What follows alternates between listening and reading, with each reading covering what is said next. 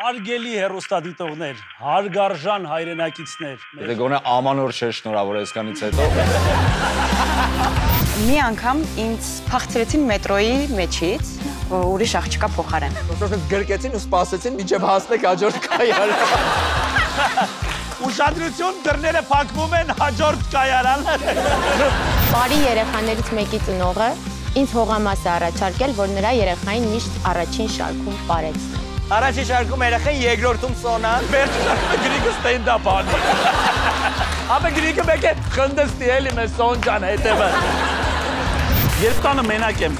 մնում, տարբեր կեղծամներ եմ փորձում, որ տեսնեմ ինձ ինչ մազեր են սազում։ Ինչի է սպասում, որ տանը մենակ մնաս, որպեսի փորձես կեղծամները։ Լավ, ասում եմ, դե թքած, դա մերկ է իրավան։ Կասկածելի երեկո, շապաթորը, Արմենիա պրեմիումի եթերում։